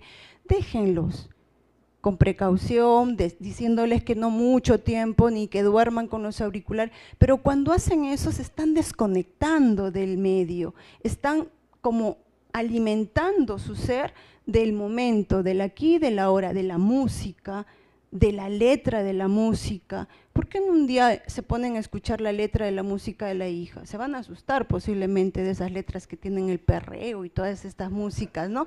Pero hago consciente ese momento. ¿Qué hace que ese momento? Ustedes dirán, esta psicóloga está loca, ¿qué voy a ganar yo? ¿Qué ganas? Ganas que tu mente se centre en el aquí y en el ahora. ¿Me entienden lo que yo quiero que ustedes aprendan? Eso. ¿Ya? Aquí ahorita ustedes están en el aquí y en el ahora escuchando, escuchándonos. Probablemente alguna de estar pensando que ya debe llegar a su casa y que posiblemente está el esposo esperándolos y que los hijos. Esa persona no está en el aquí y en el ahora. ¿Ok? La idea es que estén aquí. ¿Ya? a ver, vamos a ver no nos hemos pasado. La caminata, conectarse con esas sensaciones que a menudo obviamos. ¿Cuántas de ustedes sale a caminar, saca al perro a pasear o simplemente se va a caminar dando unas vueltas por el parque? Hagamos consciente esa actividad. ¿Cómo? Pues cuando pisen tus pies, siente cómo pisa la planta de tu pie el suelo, ahí vas a descubrir que tienes callos, juanetes, que las... O sea, descúbrelo descúbrelo, eso va a ayudarte mucho, que el viento, que el sol que te, te alimenta, que te quema. ¿Cuántas de ustedes hace eso al caminar? Ninguna posiblemente, ni yo, que lo sé. Voy tan rápido caminando pensando en qué voy a hacer, ah, que tengo que llegar al trabajo, sí, que, la, que voy a cocinarme tal cosa, eso, y no hago consciente esa actividad. Es tan sencillo de hacerlo, solo 5 minutos o 15 minutos que te toma el dar tu caminata, hacer ese ejercicio va a alimentar tu cuerpo, va a alimentar tu mente y va a descargar tu pensamiento. Costumbres en el aquí y en el ahora. A lo largo del día desarrollamos variedades de tareas de forma automática y regular. Desconéctate de tus pensamientos y conéctate con tus sensaciones. ¿Qué quiere decir eso? ¿Qué costumbres hacemos día a día? en el aquí y el ahora. Por ejemplo, el peinarnos, el cepillarnos los dientes, el echarnos crema al cuerpo. Pues hagamos un ritual de esas cosas, ¿no? Cuando me estoy peinando tengo que estar pensando en que me estoy peinando, en que está lindo así, en que los trinches de mi peine ya están viejos, en que peina. Eh, ubícate en esa actividad el cepillarme los dientes, cuenta las muelas, cuenta los dientes, te falta uno, hay un huequito por ahí, me duele por acá, en el aquí y en el ahora. Esas costumbres que hacemos las ponemos presentes y nos va a ayudar a aligerar toda esa carga, ¿ok? Y esta, que es como la, la, la reina de todas las actividades que nos van a acompañar, que nos van a nos van a guiar en todas las actividades que hagamos. Por ejemplo, cuando caminamos, cuando comemos. Si nosotros no sabemos respirar, probablemente no le estamos ayudando al cuerpo a oxigenar de una forma adecuada. Entonces, la gran mayoría de nosotros respiramos hasta la mitad de nuestro sistema respiratorio y no hacemos que llegue el aire hasta la parte inferior de nuestros pulmones. Solo cuando hacemos consciente esa respiración es cuando disfrutamos totalmente. Y a veces, ustedes lo van a verificar ahora, cuando yo hago bien esa respiración, me da como mareo. ¿Alguna vez ustedes lo han hecho consciente posiblemente en el yoga, en una actividad de relajación? Me dicen, respira. Entonces al rato estoy como mareada, me da como un bostezo. ¿Por qué? Porque no estamos acostumbradas a respirar adecuadamente. No nos asustemos porque eso es normal. Simplemente tengo que empezar a conocer mi cuerpo y mi ritmo para yo poder respirar. Por ejemplo, hay una respiración que yo les quiero enseñar. Son tres La primera, y la vamos a hacer aquí, si nos da tiempo, ¿no? ¿Sí? La primera es, se llama respiración nariz-nariz, ¿ya?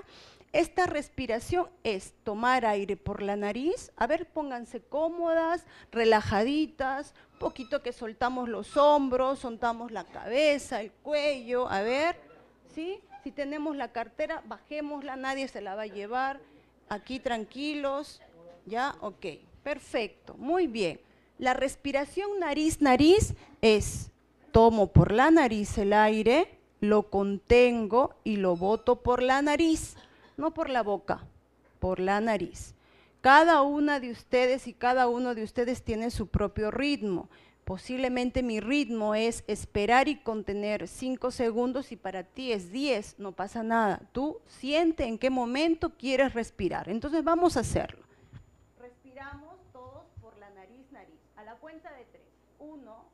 2, 3.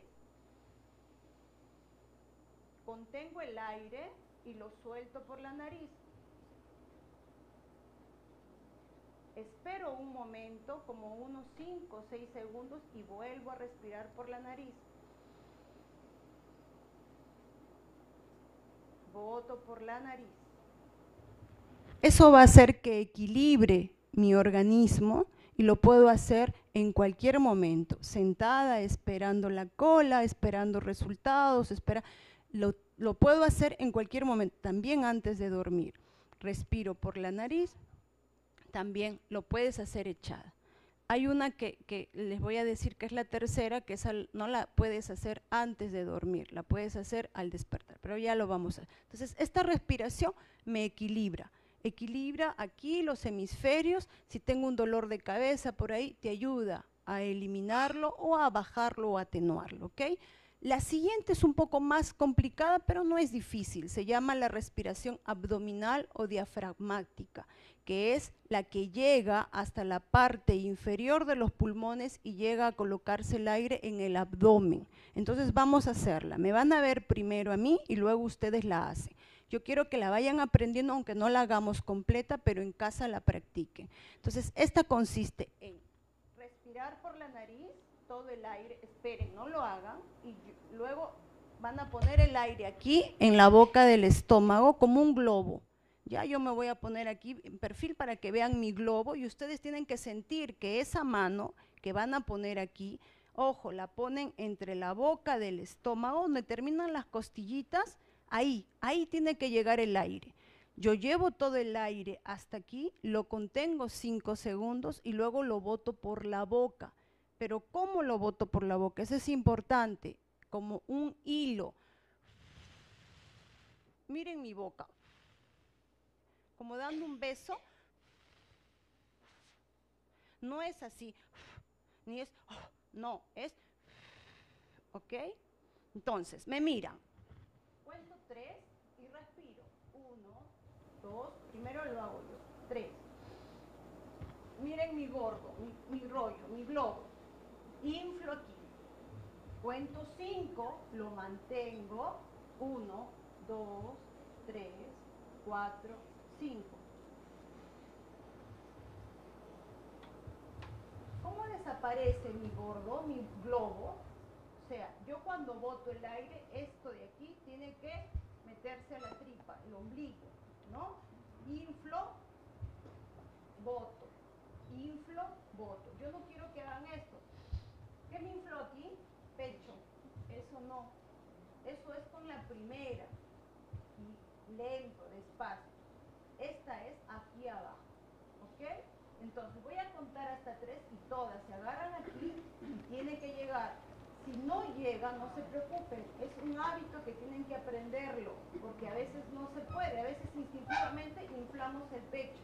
Tiene que llegar aquí tienen que inflar. No tengan miedo de inflar y sacar su globo. Mira, todo Facebook me está viendo que estoy inflando mi globo. A ver, a la cuenta de tres. Uno, dos, tres. Muy bien, doctor. Contamos cinco. Uno, dos, tres, cuatro, cinco. No se olviden de hacer eso. Ah, todo el aire. Si no me sacan todo el aire, en la siguiente respiración me van a hiperventilar, van a empezar a marear. Contamos 10 segundos o 12, dependiendo de cada una de ustedes, y vuelvo a respirar. 1, 2, mentalmente, 3, 4, 5, 6, 7, 8, nos preparamos, 9, 10, 11, 12.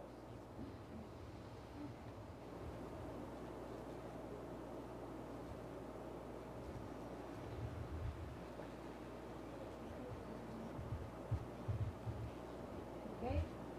Si para mí es 10, posiblemente para la señorita es 15, es 12, ¿ok? Cada una va a ir descubriendo. Esto lo pueden hacer antes de acostarse, lo pueden hacer antes de, de ir a un sitio que les cause estrés, de recibir una noticia. Eso les ayuda a relajar el cuerpo. ¿ya? Es la base, esa es la diafragma, la base de, respira- de res- de una respiración para una relajación profunda. Si la aprendemos, podemos empezar a hacer el siguiente ejercicio que es relajar músculo por músculo. Eso ya se puede hacer en una consulta con un especialista. La tercera. La tercera dice las teorías que es equivalente a una taza de café. ¿Qué quiere decir eso? Que la tengo que hacer antes de empezar mi día. O sea, me levanto, pongo el pie en el suelo y hago mi respiración. Es un poco, vamos a verla, a ver. Tomen sus dos dedos, el anu- anular y el medio, y se lo ponen entre el entrecejo. El, perdón, el índice y el medio, aquí entre el entrecejo. El pulgar va a tapar la fosa derecha. Y estos dos, que es el meñique y el anular, me tapan la fosa izquierda. ¿Ok? Entonces, consiste en jugar con estas dos. Mi entrecejo se queda ahí y mis dos dedos. Entonces yo hago primero, destapo la fosa derecha con mi pulgar, la destapo y respiro. La tapo, contengo el aire, destapo la fosa izquierda y boto.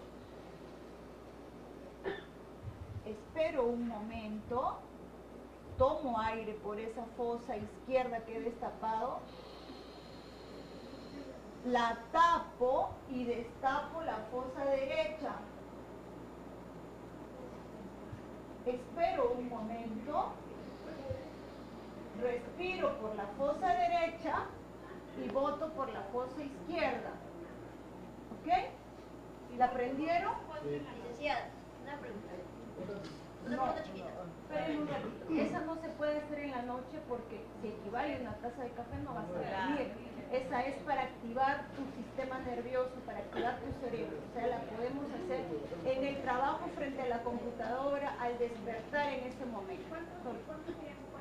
En unos cinco minutos, las respiraciones que tú necesitas. O sea, yo puedo necesitar cinco porque mi tiempo es así, pero tú lo vas a requerir, o sea, tú misma lo vas a requerir. Bueno, Yo quiero una preguntita chiquita. ¿Y eso lo hacemos este, arriba o a diafragma? no a donde llegue. Aquí, vas a sentir que llega hasta por aquí. Si tú quieres, si tú sientes que llega hasta aquí, perfecto, pero no es, no, no llega mu- mucho. Entonces hasta ahí, ¿ok? Entonces, les quería poner esta imagen para terminar. Miren lo que hace el hombre. ¿Qué tiene en su cabeza el hombre? Creo que todos nos parecemos a él, ¿no? ¿Y qué tiene el perrito en su cabeza? Pues nosotros tenemos que hacer como él. Cuando hacemos una actividad, centrarnos en esa actividad, en el aquí y en el ahora. Bueno, muchas gracias, licenciada. Hemos aprendido a respirar con usted, a relajarnos. Es importante que todos ahora, eh, si hay alguna pregunta importante, estamos todos dispuestos a- a responderla, ¿no? El objetivo de esta reunión es que entendamos que esta enfermedad es una enfermedad que se puede prevenir, tenemos que conocerla y saber que la, hay miles de formas para curar, controlar. Contamos en Oncosal, nosotros somos un- una partecita pequeñita de todo el staff de médicos, nutricionistas, psicólogos. Somos parte de este equipo que nos dedicamos a trabajar para ustedes. Nuestro objetivo es que ustedes estén bien. Nada más. Entonces, cualquier pregunta, por favor. Empezamos en orden. A ver. No me quedó claro. El chequeo anual para las mamas densas tiene que ser mamografía más ecografía o depende de... Es mi caso, yo tengo mamas densas y a mí me han dicho, no sé si estoy bien orientada, que yo debo hacer una vez al año mamografía más ecografía en el mismo momento. O sea, en el mismo día, la misma semana, el mismo mes, no separada, mamografía un mes y después ecografía. Si estoy bien orientada, si eso tiene que ser las dos cosas juntas. Y una ginecóloga que no es oncóloga me dijo que mejoraste una resonancia también. No la he hecho. Gracias. Ok, correcto. Eh, la mama densa puede disminuir la sensibilidad de la mamografía hasta un 40%. Por eso es mejor potenciar la mamografía con una ecografía. La mama densa, en la mamografía se ve todo blanco. Y nosotros, yo siempre le digo esto a los pacientes, el cáncer es blanco en la mamografía. Entonces, buscar una cosa blanca en un fondo blanco es difícil. ¿No? Entonces, con, con la ecografía mejoramos la sensibilidad y podemos detectar el cáncer. El, de- eh, idealmente debería hacerse mamografía y ecografía al mismo tiempo y por, la, mi- por el mismo, pers- la mismo médico que radiólogo que está viendo el caso. La resonancia magnética no, no está indicado. Tiene, la resonancia magnética tiene sus indicaciones precisas, no es para hacérselo a todas, no, no es como screening. Es, muy importante entender que la mamografía es el método más importante para la detección de cáncer. La ecografía no reemplaza a la mamografía, se complementan. Y otra cosa mucho más importante todavía es que la ecografía es un examen que depende del médico que lo haga. Por eso nosotros tenemos que acudir a un centro especializado. La ecografía es en tiempo real. El radiólogo pasa su transductor y va mirando en la pantalla y de acuerdo a su experiencia va a darse cuenta si hay alguna lesión sospechosa o no. Entonces, a veces muchos pacientes en la consulta me dicen, doctor Falla, ¿puedo irme eh, donde mi vecino que tome ecografías a hacerla? Yo le digo, por supuesto, siempre y cuando uno confíe y sea un especialista, por favor. El especialista es el que hace, hay un médico radiólogo que hace la ecografía de mama, interpreta la mamografía, la resonancia. Y un poquito aclarando, la resonancia magnética es un examen que muchas veces me va a exagerar cosas. A los cirujanos nos ayuda a operar de repente. Entonces, tiene indicaciones precisas, seguimientos, o si yo tengo una duda diagnóstica clínico radiológica, una discrepancia que palpo un nódulo y no lo veo ecográficamente o mamográficamente, entonces me voy a la resonancia, ¿no? Porque nosotros tenemos que agotar todos nuestros recursos clínicos, radiológicos, para llegar a un diagnóstico definitivo. Vamos a hacer otra pregunta. A ver.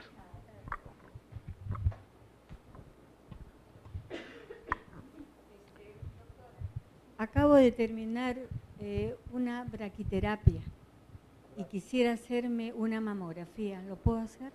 Braquiterapia, Bra- sí. No hay ningún No problema. hay ninguna contraindicación. O sea, la braquiterapia que usted ha recibido no tiene ningún efecto o no se suman las radiaciones para hacer la mamografía. Tiene que hacerse su mamografía de forma anual. Es más, yo estoy, la paciente ha sido diagnosticada de cáncer de mama, ha terminado su quimioterapia, su radioterapia, hay que pedir los exámenes al año de haber sido diagnosticada. Lo ideal del examen radiológico de control es una vez al año. No porque, doctor, yo ya recibí radioterapia o recién me han hecho una tomografía, no me debo hacer mamografía. No se suman. Gracias. Sí, correcto. No, no hay ninguna contraindicación para la mamografía. Bueno, en caso de que mujeres que están gestando, sí eh, preferimos no hacer la mamografía. Preferimos estar seguros de que no esté en un estado de gestación. Eso es como dice la doctora Pero- Montenegro, eso es algo muy importante, ¿no? Aconsejar a sus hijas, familiares, siempre que van a concebir, que van a salir en estado, hay una enfermedad que se llama cáncer de mama asociada a gestación. Entonces, la mujer antes de, de empezar este estado es bueno pasar un chequeo preventivo o un chequeo con su ginecólogo y descartar cualquier patología. Buenas noches. Terminamos en esta fila y nos vamos para esto, por Eh, favor. ¿qué, tan, ¿Qué tan recomendable es el pescado en conserva para pacientes eh, con cáncer? El tema de los productos enlatados, en realidad por lo que contienen aditivos, no es lo ideal. Siempre es mejor consumir alimentos que sean frescos o del día, ¿no? Y también eh, hay que ver en dónde se obtienen estos alimentos, porque cuando una persona ya tiene cáncer tenemos que recordar de que las defensas tienden a, a bajar. Entonces el paciente se encuentra inmunosuprimido, es más propenso de tener cualquier tipo de enfermedad adicional, sea una diarrea o sea una gripe o algo por, por medio ya sea eh, factor ambiental o por una ingesta alimentaria. Entonces hay que tener mayor cuidado con lo que se está ingiriendo y de dónde se está obteniendo el alimento.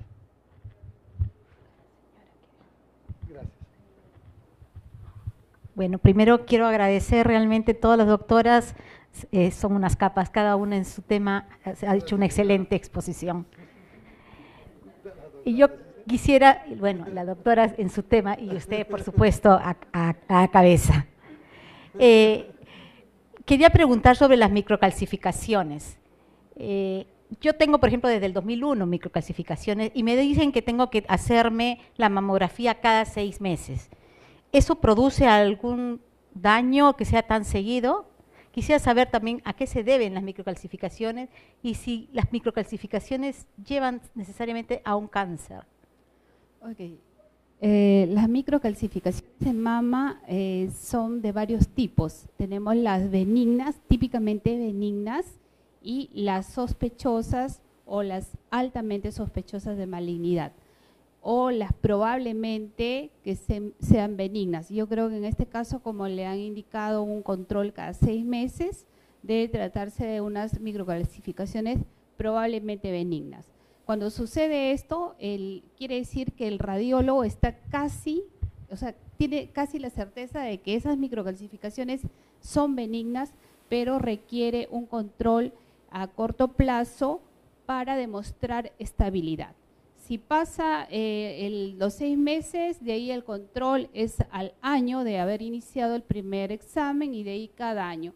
Si yo veo esas microcalcificaciones que no han cambiado, que están igualitas durante tres años, ya las catalogo como benignas. O sea, de ahí ya no nos preocupamos, sigue el control anual normal como cualquier otra persona.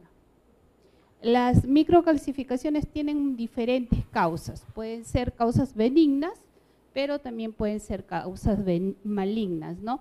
En dentro de las benignas, por ejemplo, las adenosis nos puede dar microcalcificaciones. Pero lo importante de las microcalcificaciones en, la mamografía es de que en caso de que sean eh, muy sospechosas, pueden ser un signo temprano de cáncer. Y, y cuando uno este, detecta esto, puede, hacen el tratamiento a la paciente y se cura. Entonces, eso es muy importante, eh, que la mamografía detecta esto. En realidad, las microcalcificaciones, cuando es cáncer, es la huella que deja el cáncer. El cáncer ah, este, está dentro del conducto. Dentro de la mama tenemos un montón de tubitos chiquitos que se llaman conductos y el cáncer está dentro del, conducto inicialmente. Eh, y la calcificación es la huella de ese, cáncer. Listo. Ok, como dijo la doctora, o sea, si ya desde el año 2011 le están diagnosticando en las mi- 2001, tiene las microcalcificaciones, la posibilidad de que sea mala es casi nula. Siempre el radiólogo, ¿no? Yo como, como mastólogo siempre tenemos presente, aumenta el número, cambia la forma. Entonces los radiólogos tienen una clasificación para las lesiones de la mama, que es el BIRATS, y ellos lo clasifican según su, su experiencia y algunos criterios. Por eso, vuelvo a repetir, es tan importante acudir a un centro especializado en la patología que estoy descartando. Si voy a buscar cáncer, tengo que ir a un centro donde descartan cáncer, ¿no? Seguimos con unas preguntas más. Este lado. Buenas noches, doctor. Gracias por la explicación muy ilustrativa. Eh, una orientación, en algún momento eh, un ginecólogo, un ginecólogo eh, me recomendó, bueno, me hicieron una, una, una biopsia, fue, benigna, eh, que como dice la, licenciada nutricionista, los alimentos tienen que ser frescos, del día, no guardados.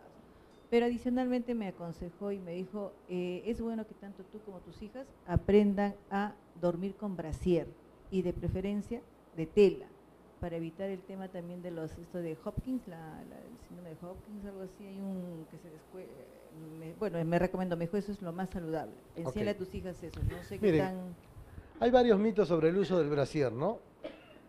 las personas que duermen con brasier primero no van a sufrir de cáncer, no tienen ningún efecto sobre la circulación. La mama se irriga por la mamaria externa y por la mamaria interna. Punto número uno. Nosotros como especialistas sí recomendamos el uso del sostén. ¿En qué casos? cuando la mujer sufre de mastalgia, dolor de mamas. La mama cuelga, jala, va a tensar el músculo y va a tensar un nervio y va a ocasionar dolor que se va a irradiar a veces hasta la espalda. Entonces, los mejores brasieres, sostén, su nombre lo dice, sostener. La idea es mantener pegado el seno al pecho, que cuando la mujer duerma el seno no esté jugando. Eso va a calmar las molestias. De tela, licra, no importa, lo importante es que acomode bien el pecho de la paciente. Los aros no tienen ningún efecto. El aro simplemente es para dar una forma, no tiene un efecto sobre la circulación o sobre la formación de lesiones en la mama. Ante todo, extraordinaria la, exposición. Ahora entiendo por qué usted dice que el, cáncer es un manejo multidisciplinario y lo he visto perfectamente. Este, mi pregunta es, ¿dónde hacerse la, prueba genética?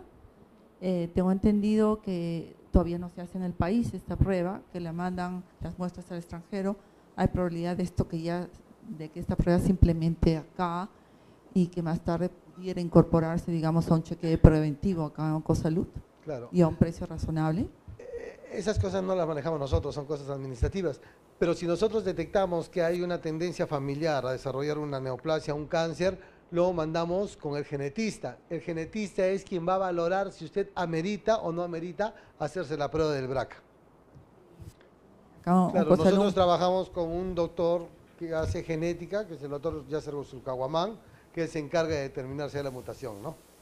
Pero todo, como le vuelvo a decir, nosotros somos un pedacito de este, de todo este conjunto de médicos de oncosalud cualquier mastólogo, radiólogo, oncólogo clínico, nutricionista, la va a poder orientar a que le hagan la prueba. Perfecto, gracias. Dos preguntitas más. Buenas noches, doctor. Consulta, los nódulos que aparentemente en la forma y todo son este, benignos, ¿en el tiempo pueden convertirse en cáncer? Generalmente lo bueno no se vuelve malo, es muy raro.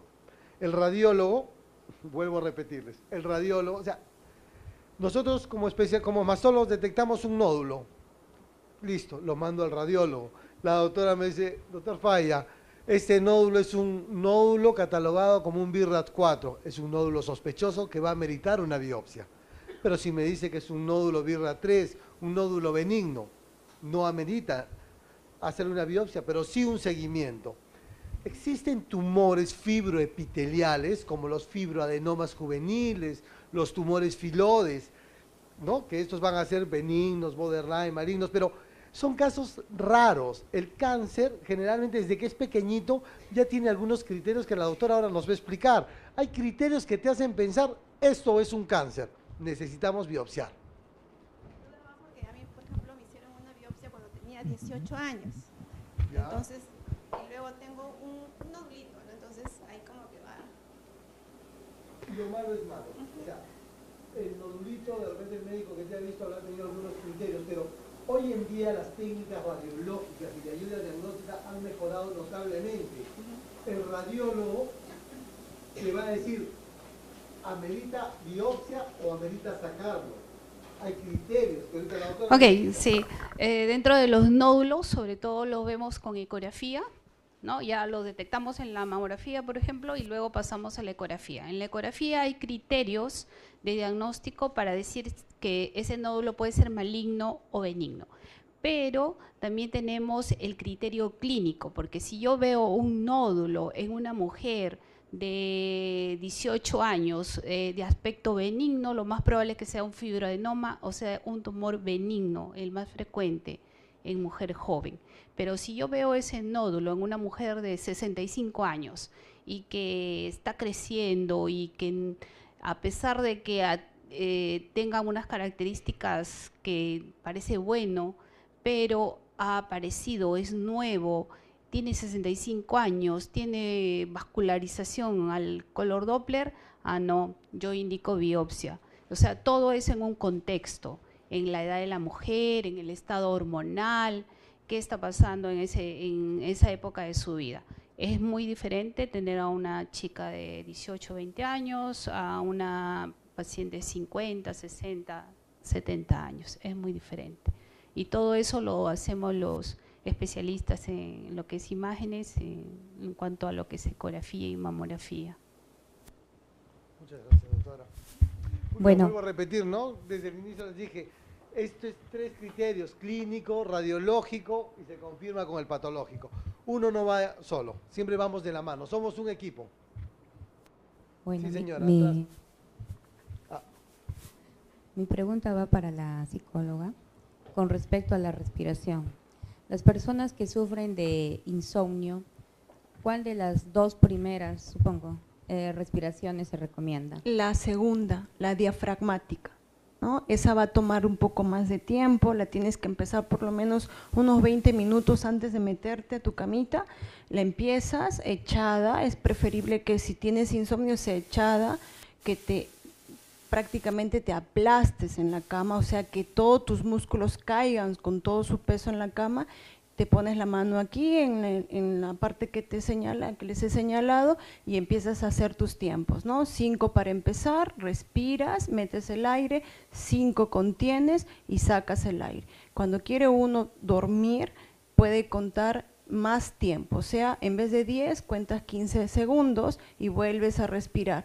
Me vas a hacer en 20 minutos posiblemente unas 10 o unas 12 respiraciones. Si por ahí te me duermes con la respiración, enhorabuena, pero si la terminas, pues ahí eso te va a ayudar a relajar bastante. ¿ya? Gracias.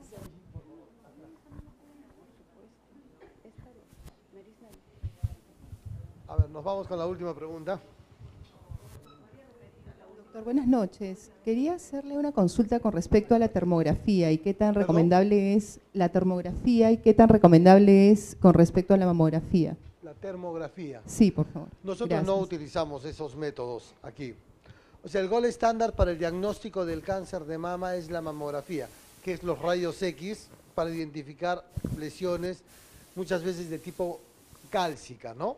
Y se complementa con la ecografía. Además de esto, alternativas a la mamografía tenemos la tomosíntesis o técnicas adicionales de compresión focal, magnificación y un siguiente escalón es la resonancia magnética. En la institución no manejamos. Lo que está aprobado actualmente científicamente comprobado es la mamografía. La mamografía ah, eh, disminuye un 30% la mortalidad por cáncer de mama. Eso ya está probado en varios países, en eh, países que tienen sistema de screening. La termografía no es una técnica que es, es usada ¿no? para hacer este diagnóstico. Eh, ahora actualmente la mamografía también ha dado un gran salto. Primero fue la mamografía digital, la que tenemos actualmente. Luego se agregó la mamografía con tomosíntesis, la que les expliqué. Y últimamente está llegando esta nueva tecnología que es la mamografía con contraste, que es, todavía está en estudio y que va- en el futuro yo creo que también se va a considerar, ¿no? Pero termografía no, no, no estamos usando eso. Queremos agradecer primero a, ustedes por asistir. hemos tratado de darles un poquito de nuestros conocimientos. Gracias a la doctora Bolivieso, a las licenciadas, a Oncosalud por permitirnos ser parte de este equipo, ¿no?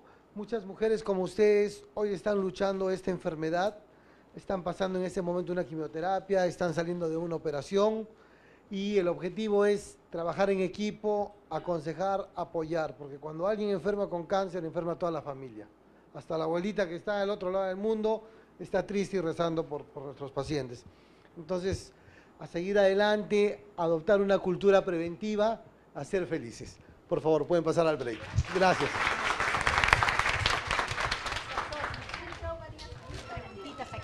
La próxima charla vamos. Ah, por internet, mandar pues. alguna? Claro, por internet. ¿A- a dónde? Va a ¿Qué estar en la correo? página de Oncosalud. Ah, genial. ¿Cómo estás? apellida Falla y no hay muchos No, del norte, Chiclayo. ¿De dónde? Es Ruiz Falla. No. ¿De Chiclayo? De. Trujillo. Ah, de Trujillo. Claro, en el norte hay, pues.